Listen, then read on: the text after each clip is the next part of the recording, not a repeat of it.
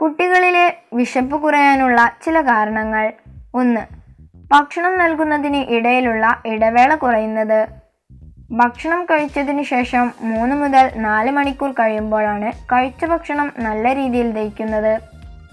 അതിനാൽ ഭക്ഷണങ്ങൾ നൽകുന്ന ഇടവേള ഇതിനനുസരിച്ച് വേണം. രണ്ട് ഭക്ഷണക്രമത്തിൽ കൂടുതൽ ജങ്ക് ഫുഡ് ഉൾപ്പെടുത്തുന്നത്. വളരെ ഉയർന്ന തോതിൽ കലോറി അടങ്ങിയതും എന്നാൽ കുറഞ്ഞ പോഷകമൂലം അടങ്ങിയതുമായ ഭക്ഷണമാണ് ജങ്ക് ഫുഡ്. ചിപ്സ് ചോക്ലേറ്റ് മുതലായ ലഘുഭക്ഷണങ്ങൾ കഴിച്ച് വയർ നിറക്കുകയാണെങ്കിൽ പ്രധാന ഭക്ഷണത്തിനുള്ള സമയത്ത് വിശപ്പുണ്ടാകാൻ സാധ്യതയില്ല. മൂന്ന് ശരീരത്തിന്റെ പ്രതിരോധശേഷി കുറയുന്നത്. വളർച്ചയ്ക്ക് ആവശ്യമായ ധാതുവാണ് സിങ്ക്. സിങ്കിന്റെ അഭാവം വിശപ്പില്ലായ്മ ശരീരഭാരം കുറയൽ അണുബാധ വയറിളക്കം എന്നിവ ഉണ്ടാക്കുന്നു.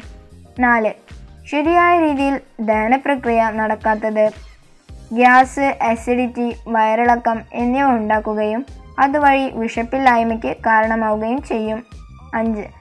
പല്ല് മുളക്കുന്ന കുഞ്ഞുങ്ങൾക്ക് ചിലപ്പോൾ അതുകൊണ്ടുണ്ടാകുന്ന വേദന അസ്വസ്ഥത എന്നിവ കാരണം ഭക്ഷണം കഴിക്കാൻ കൂട്ടാറക്കാറില്ല ആറ്. സാധാരണ കാണുന്ന അസുഖങ്ങളായ പനി ജലദോഷം ചുമ എന്നിവയുള്ള കുട്ടികളിലും വിശപ്പില്ലായ്മ കാണാറുണ്ട്. ശരീരം അസുഖങ്ങളിൽ നിന്ന് മുക്തി നേടിയതിനു ശേഷം ദഹനപ്രക്രിയ പഴയ രീതിയിൽ എത്തിക്കുന്നത് കുറച്ച് സമയം എടുക്കും. കൂടുതൽ ആരോഗ്യ വാർത്തകൾ അറിയാൻ ഈ ചാനൽ സബ്സ്ക്രൈബ് ചെയ്യൂ. ഈ വീഡിയോ ഇഷ്ടപ്പെട്ടാൽ ലൈക്ക് അടിക്കൂ.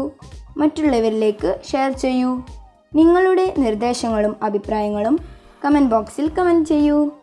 ഈ വീഡിയോ കണ്ടതിന് നന്ദി.